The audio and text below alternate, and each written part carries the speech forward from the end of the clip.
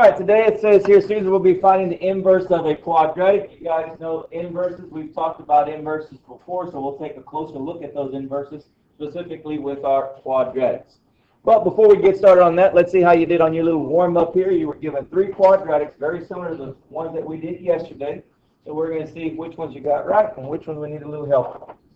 All right, so the first one, a, x squared plus 21 equals 70. Very similar to what we had yesterday using the square root method. The first thing I'm going to do is subtract 21. So 70 minus 21 was 49. And I need to take the square root of that 49 so that I can have x by itself. And the square root of 49, of course, is 7. But because we are working with a quadratic, we should have two solutions. So where's the other? That's right. Remember, we have both the positive and the negative root. So we should have both a positive 7 and a negative 7 for your answer. So that's what I was looking for on part A. How many of us got part A right? All right, very good. Uh, B is very similar to A. We're trying to get x by itself. So what I'm going to do is first add 12 to both sides. So now that gives me 4x squared is equal to uh, 13 plus 12 is going to be a 25. Once we uh, add the 12, the next thing we're going to do is divide by 4. And what did you get? 25 divided by 4 was what? 6.25. 6.25. Uh, we're almost there. The next thing we need to do is take the square roots of both sides. So if I take the square root of both sides, I'm going to be left with x equaling what? Plus and negative 2.5. All right, so the two solutions here were 2.5 and negative 2.5. Now, just something real quick here, guys. Uh, when it comes to the answers, we can have it in both the decimal form or in the fraction form. 2.5. Oh, would 2.5 be as a improper fraction? 5 over 2. 5 halves. So we could also have the answer written as positive and negative 5 over 2. So that is possible as well. I want to point out here, notice what we did was we took the square root of 6.25, which is the same thing as taking the square root of 25 over 4. And the square root of 25 is 5, and the square root of 4 is 2. So notice all we're doing is taking the square root of both the numerator and the denominator. That's all we're doing. All right, so how many of us got this answer correct on part B then? We're all pretty good. Here's the tricky one, C. Let's see how we did on C. Again, we're trying to solve for x. A couple of different ways that we can attack this. First thing I'm going to do is go ahead and take care of the 4. I'm going to subtract that 4. So 40 minus 4 was 36. So right now I've got x minus 3 squared is equal to 36. What y'all do next? Square root. So now we're going to square root both sides. So over here we're going to have x minus 3. The square root and the square are going to cancel each other out. And what's the square root of 36? 6. Square root of 36 is 6. Now what do I need to do? I'm solving for x. What do I need to do next? Plus 3. And 6 plus 3 is 9. So my solution is 9.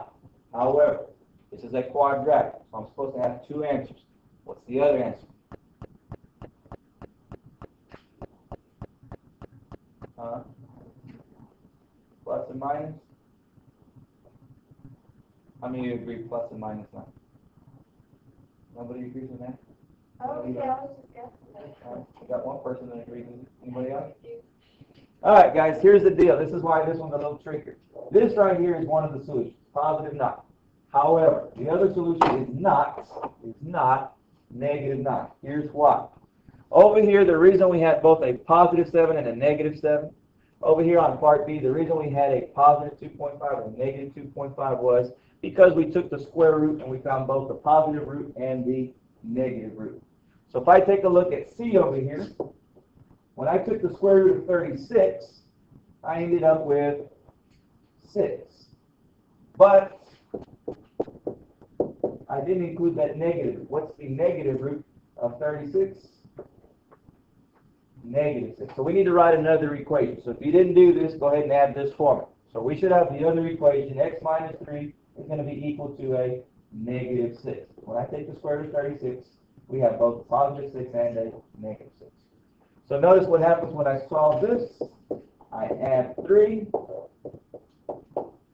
Negative six plus three is a negative three. All right, so the two solutions we have here are negative three and positive nine. And that's what I was looking. for. How many of you answered that one correct? That was tricky. Got it covered. Um, now, the way I worked it was algebraically. Was that the only way to do it? No. Anybody do a different method to come up with those solutions? What did you do? What did you do to come up with the answer? Graph it. That was another option. Remember, as long as you got it equal to zero, you can also graph it and find your x-intercept. There's nothing wrong with that. Is that cheating? No. That's being smart, finding a way to find your solutions. All right, so that's just a quick review of what you guys worked on yesterday. Now let's get to the nitty gritty here. Uh, number one, up at the top of your paper, it says a review of quadratic functions. Now, what we're going to be looking at is our quadratic parent function. The first thing we're going to do is we're going to fill out that table. And at this point, most of you guys should be able to fill out that table without using a calculator. To find the y values, all we're going to do is take all of these x's over here and square it. That's what the equation says to do. Take x's and square it. All right, so here we go. If I square negative 3, what am I going to get? Hello? Negative 3 when you square it. Nine, What do you get when you square negative 2? four, 4. Square negative 1, you get 1, 0, 1, 4, and 9. We don't need a thinking calculator for that. We're smart enough. Okay, now that we got the table, now let's get its graph. So let's come over here and plot the points. Negative 3, 9 is our first order pair. So let's find negative 3, 9, way up here. Now I'm going to look for negative 2, positive 4, negative 1, positive 1, 0, 0, 1, 1, 2, 4, 3, 9. Once you get the points, go ahead and connect those dots. And you notice that we end up with our quadratic parent function. That's what we're going to be looking at today, quadratic parent function. All right, so we've taken care of part A. We've graphed it from uh, looking at the values in the table. Now let's answer part B over here. Part B, they ask us if the domain of the equation is negative 3, negative 2, negative 1, 0, 1, 2, and 3, then what would be the range? Well, what are the y values when we use these particular x values? What did we just get? What were the numbers? There it is. 9, 4, 1, 0, 1, 4, and 9. Those are the y values for those particular x values. C. Is this equation a function? Well, what was a function? It's up on the board if you forgot. What's a function, guys? Marissa, help us out. What's a function? It's on the board if you forgot. It's on our word wall. Function, function. All right, so the set of uh, order pairs where the x values don't repeat. So can I call this a function? Yes. Explain. Why can we call this a function, guys? Because x doesn't repeat. So write that down for me. x does not repeat. x does not repeat. Now, just real quick, let me remind you of something else that we have to determine whether or not we have a function. And that's something called the vertical line test. Y'all remember talking about vertical line test? How does vertical line test work? What's that, Marisa? As long as our vertical line, which is my green line here, as long as it touches the graph just once, it's considered to be a function. What if it touches twice? Then it's not a function. What if it touches three times? Not a function. So as long as we touch once, we're okay. We've got a function. All right, so that takes care of number one. Now what we're going to do is we're going to take a look at the inverse of that quadratic parent function. Now let me remind you from first semester when we talk about inverses, all we're talking about is switching the x and the y coordinates. That's all we're going to do to find the inverse. We're just going to switch the x and the y. So if you look at the table we got on number one, all we're gonna do is switch the x and y values. So now instead of negative three, nine, now we're gonna have nine, negative three. Instead of having negative two, four, now we're gonna have four, negative two. So all we're doing is switching the x and y. So basically, all the y values are the x values now. So let's write those down. Here it is. Again, all we're doing is switching the x and the y. So now what I have is some new ordered pairs. What we're going to do is we're going to plot those new ordered pairs and see what kind of graph we get. So let's plot 9, negative 3. 4, 5, 6, 7, 8, 9. Negative 3 is right here. 4, negative 2 is right here. 1, negative 1 is right here. 0, 0, 1, 1, 4, 2, 9, 3.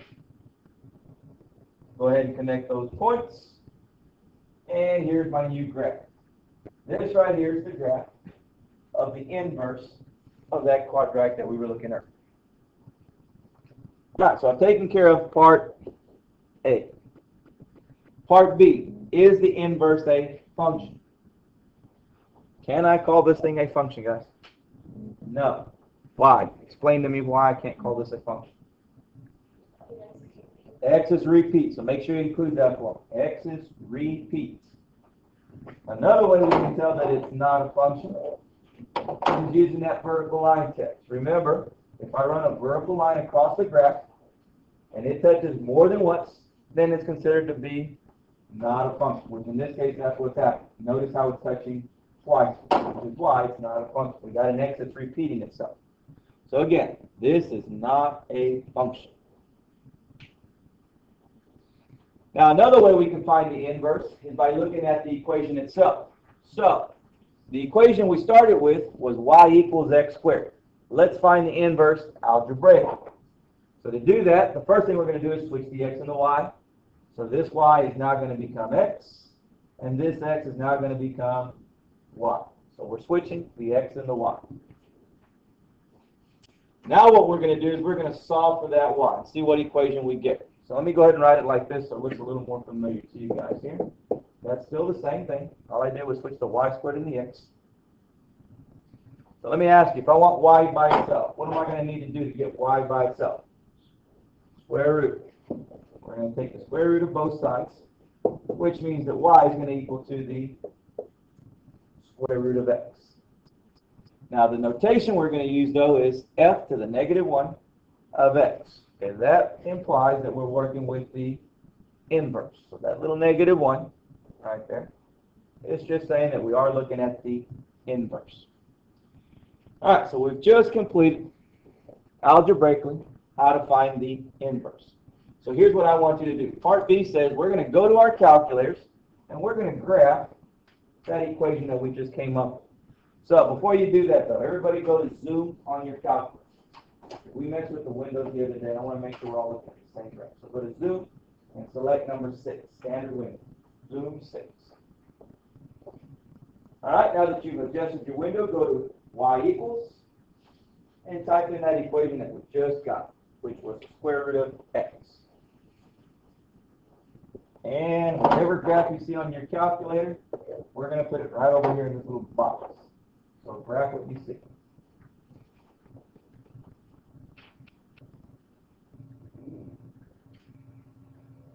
So, on number two, when we graph the inverse, this over here is the graph that we got.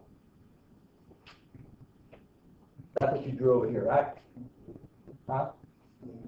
Mm, that the same thing you saw over there?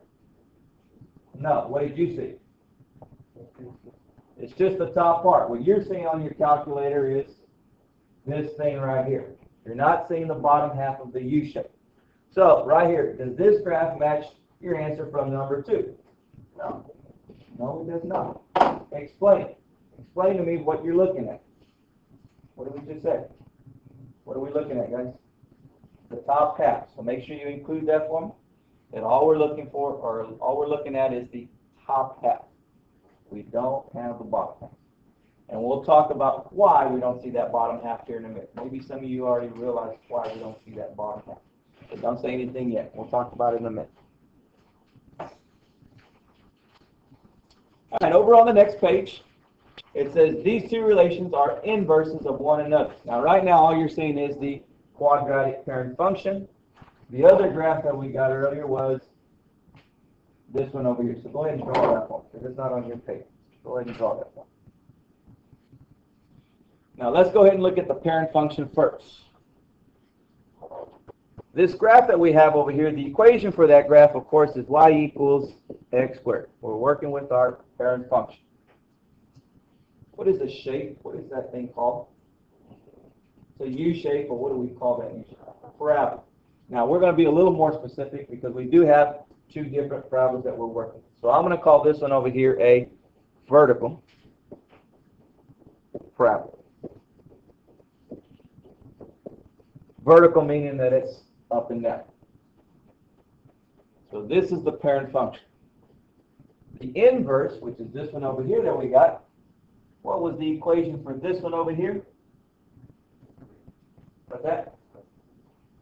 y squared equals x. That is correct. That's what gave us that graph right there. And what is the shape? Well, it's still a uh, parabola, but it's not a vertical parabola. This time it's a horizontal.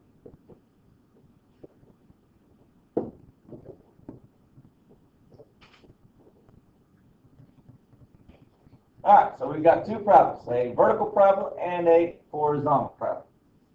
Uh, let's see in the middle here, what are the properties of the inverses? Right there it says these, uh, their graphs are blank over the line blank. Now, remember we talked about inverses. What do we notice about inverses? How did we get from this first graph, the parent function, to this graph over here? What just happened to that graph? It reflected. I like that. Their graphs are reflections. But let's be careful. When we say they're reflection, reflection over what line? There you go. Y equals X.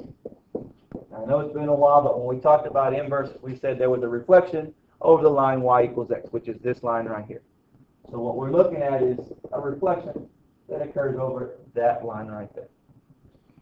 Now, uh, why did I put yes? Over y equals. Okay, Where did that come from? All right, their equations have the blank switch. What was it that we switched to get the inverses? the x and the y. So what we did was we switched the x and the y to come up with the inverse. Now, if you look closely over here, it says, what's the problem with this graph? So we're looking at this one right here. What do we say about that particular graph? Here's a little hint. This graph is like a line.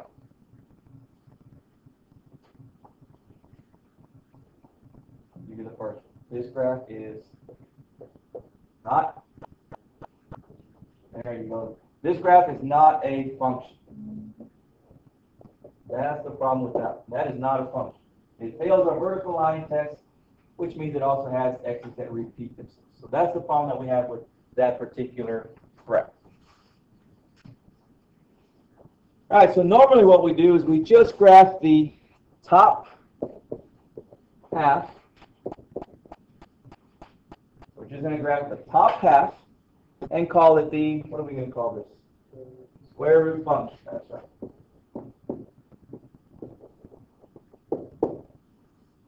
So all we're going to do is uh, graph the top half and call it the square root function, which makes sense when you type this in your calculator. The way we got that top half was by typing in the square root of x, which is why we're calling it the square root function. Now you'll notice over here the square root parent function, right here to find values of table, if we take x's and square those, or not square them, but square root those x's, here's the y values that we get. So for example, if I take the square root of 0, I get a 0. If I take the square root of 1, I get a 1. If I take the square root of 4, I get a 2. If I take the square root of 9, I get a 3. What would go next here? 16. If I take the square root of 16, I get a 4. What would be the next number? 25. If I take the square root of 25, I get a 5. So all we're doing is taking the square root of the x values. All right, so let's go ahead and take these order pairs and plot them. See what we get. Zero zeros right here. One one. Uh, let's see, four two. Nine three. Of course, sixteen four and twenty-five five is not going to fit on our paper. That's okay. We got enough. Let's connect those dots. And here's the shape we get.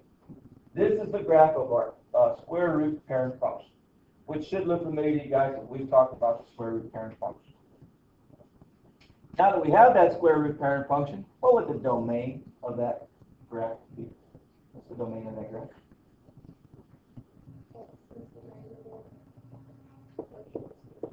Ah, there you go. That is correct. The x values are going to be anything greater than or equal to a 0. It says here you can only use blank values for blank. We can only use positive values for x. Maybe tell us why. How come we can only use positive values for x? Let me ask you another one. What would happen if I use a negative value for x? What would happen if I stuck a negative number right there? Oh, um. There you go. We would end up with an imaginary number. In other words, if I put that in the calculator, just like yesterday, we're going to get the error. So that's why the x's have to be positive values. Otherwise, we would get an error. Uh, what about the range? What are the y values on this graph here? What's that? Greater than or equal to a zero. So notice the y values are also going to be positive values. It says here you will only get positive answers for y. Why? Why are we only going to get positive numbers? We're taking the square root of positive numbers, so when you take the square root of positive numbers, you're going to get positive answers. All right, again, that's dealing with the parent function. All right, we're on the next page, number four, review of quadratic transformations. Here we have the equation y equals 2x squared minus 2. Now, obviously, that is a quadratic. So when I graph this, what kind of shape am I going to get? A U shape. So how are we going to get that U shape? Well, the first thing we're going to do is we're going to fill out this table over here. Now, we can do this by hand, or we can cheat a little bit and use the calculator. I'm going to go ahead and let you cheat today, and we're going to use our calculator. So everybody go to y equals, and let's do 2x squared minus 2. 2x squared minus 2. Go to your table, and let's complete the table we have on our worksheet here. So right next to negative 2, what y value do you see? 6.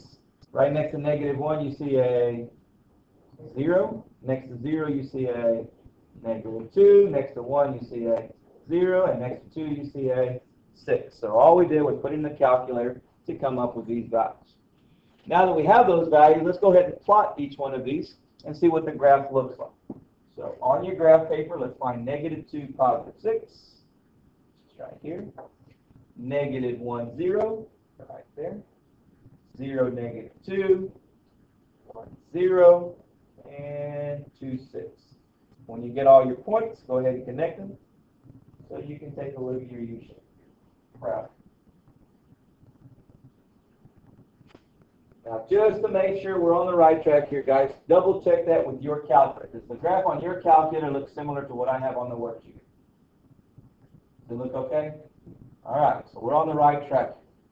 So if we take a look at that graph, part B says what kind of transformations just occurred. Let's start with the negative 2 or the minus 2 at the end of the equation. This minus 2 right here. The transformations we have are still over here on the board. What exactly did that minus 2 do to our problem? It moved it down two units. So make sure you put that for me. We're moving it down two units. What effect does 2, that coefficient, have on the graph? In other words, what is that 2 right there doing to our graph? Stretching. Be more specific. You're right. It's stretching it vertical.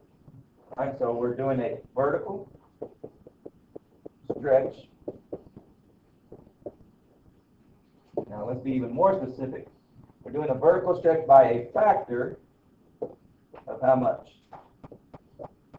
Two. Remember we said the bigger that number is, the more we stretch. And what happens, the more we stretch it, the skinnier that graph is gonna be. So we're stretching it by a factor of two, which is why it looks a little skinnier than our parent function. All right, so that right there is the quadratic, y equals 2x squared minus 2. Now let's take a look at the inverse. So if we look at number 5 here, the first thing we're going to do is look at the table and get the inverse of that table. So we're going to switch the x and the y values. So now instead of negative 2, 6, now we're going to have 6, negative 2. Instead of negative 1, 0, now we have 0, negative 1. Now we have negative 2, 0, 0, 1, and 6, 2. So all we're doing to find the inverse is switching the x and the y. Now that we got that table, let's come over here and take a look at its graph. Let's find 6, negative 2 first, which is going to be right here. Then I'll find 0, negative 1, which is right here. Negative 2, 0, that's over here. 0, 1, and 6, 2. Go ahead and connect those points. And this is the graph we get. That is the graph of the inverse of that first, or that quadratic we have. B is asking whether or not this graph here is a function. Is this considered a function? No. Why? Why is this one not a function? That's right. We have some x's that repeat. They're right here. You can also tell that it's not a function using the vertical line. If I run my vertical line across there, notice how it's touching twice. And that's a big note, not a function. All right, let's take this one step further. Now let's look at that same quadratic, and let's look at its inverse algebraically. So if I want to find the inverse of that equation, the first thing I'm going to need to do is switch the x and the y. So this y right here is now the x. This x is now the y. Alright, so now I have x is equal to 2y squared minus 2. And what I want to do is I want to solve that for y. I want to know what the new equation is. Here we go. We're going to start by adding 2. So what I'm going to have here is x plus 2 equals 2y squared. All right, Jose, what do you think we're going to do next? If I'm trying to get y by itself, what would be the next move? There you go. We're going to divide everything by 2. So that gets divided by 2, that gets divided by 2, and that gets divided by 2. By the way, don't forget, in front of that x, there is a 1. So I'm going to go ahead and write it down so you can see. So here's what I'm going to have at this point. I'm going to have 1 half x plus 1 equals y squared. Almost there. Andy, what's the next thing I need to do here? Square root. So we're going to take the square root of both sides, which is going to leave me with y equals square root of 1 half x plus 1. All of that 1 half x plus 1 needs to be underneath the square root. Now let me go ahead and use the same notation that we're using. The notation we're going to use is this right here. Remember, that little negative 1 just implies that we are looking at the inverse. That's what that little negative 1 is. Alright, so this right here is the inverse function of what we started with, which was this right here. Let's graph that in our calculator and see what the graph looks like. Go to your calculators and let's type in the square root of 1 half x plus 1. Whatever you see, go ahead and graph it for me on that little box over there.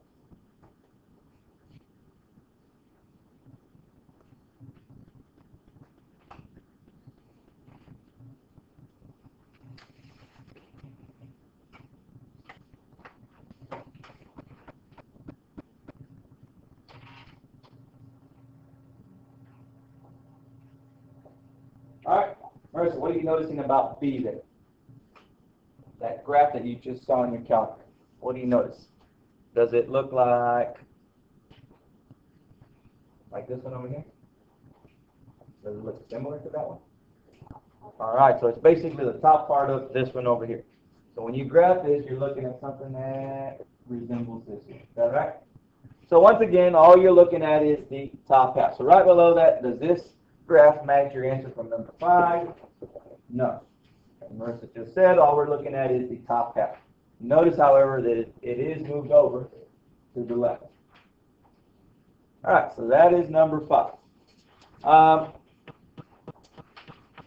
now, on these two inverses that we graphed with the calculator, you'll notice that we're only getting the top half of the graph. Can anybody tell me why we're not seeing the bottom half? Has anybody figured it out yet? What do you got? Is you stretching or you got, you know what? Garrett?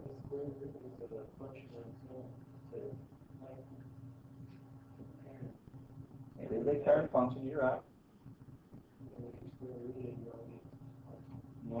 What if I wanted to see the bottom half? Is there a way that I could actually get the bottom half to show up? Here?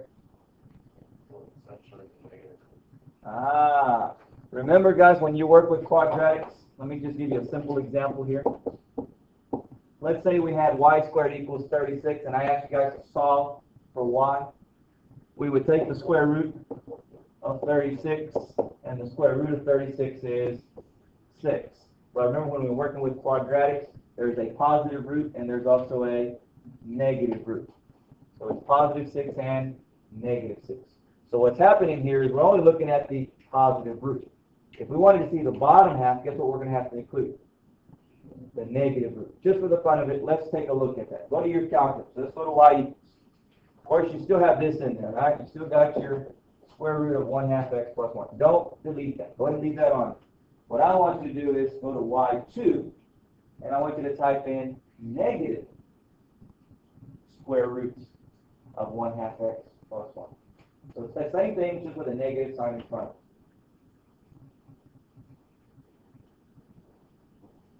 And graph it and see what happens now. Now what do you see? Now you see the bottom half. So the only way you can actually get a U shape that's sideways is by typing in two equations. There's no way to get it in there with this one. At least not with our calculator. Maybe with a different calculator but in this case, that's it. You got to type in both equations.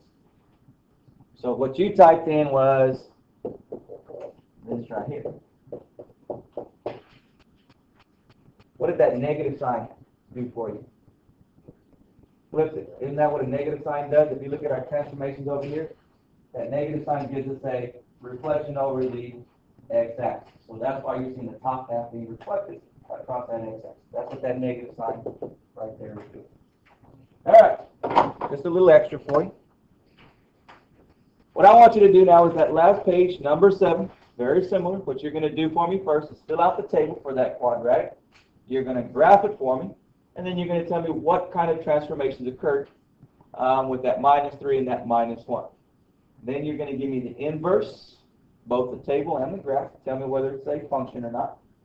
And then number 9, you're going to go ahead and give me the equation for the inverse. So basically the same thing we did together. I'm going to give you some time, and then we'll take a look at it um, together. So let me give you about five minutes to, to work on that on your own.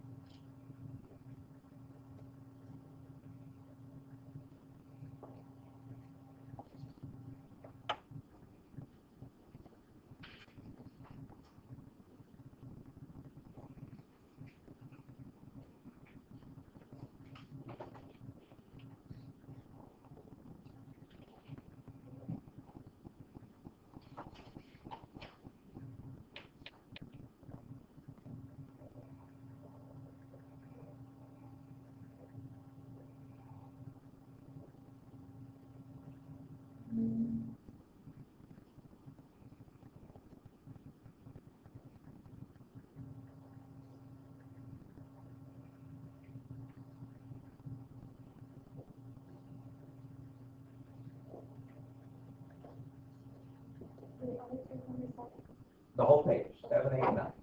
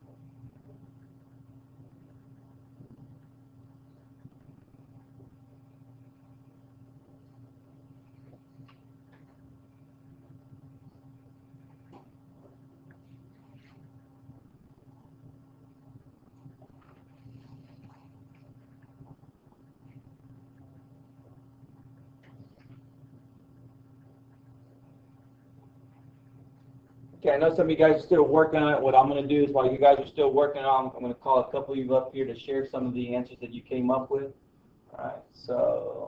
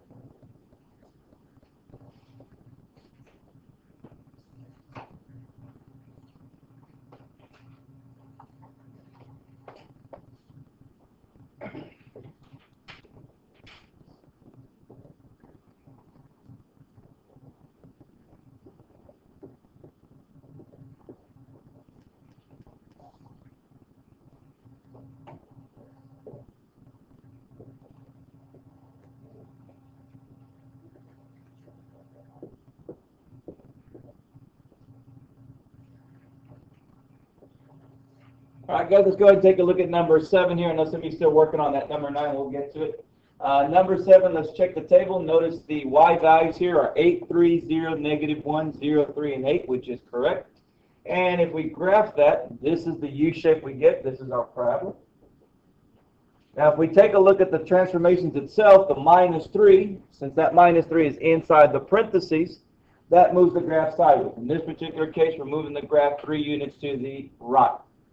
Uh, the minus 1, the minus 1 is on the outside of the parentheses, therefore we're moving the graph down one unit. All right, so we're taking the parent function, moving it to right 3 and down 1. So this is the graph we should get, which is correct. All of number 7 is right. So if there's something you don't have on number 7, make the correction. Um, now let's take a look at number 8, the inverse. All right, go ahead and give me your numbers in your graph form. Numbers in your graph. Let's take a look at the inverse. Remember, inverse is just switching x and y values. That's all we're going to do on this.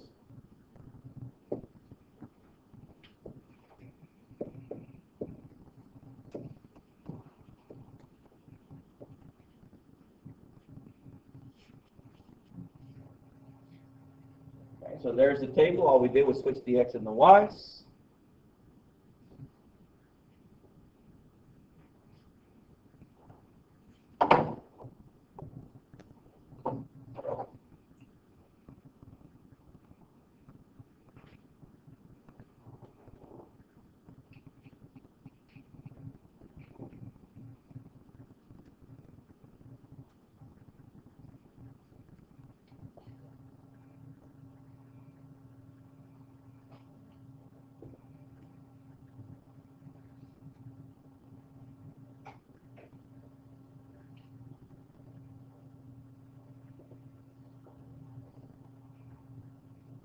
All right, so this is our new graph after we uh, switch the x and the y values. That's the graph of our inverse.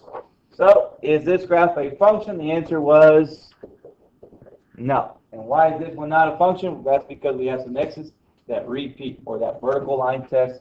We don't pass that. All right, here's the one that's giving us a little trouble here, and that's to find the inverse algebraic. So let's see how we did on this one.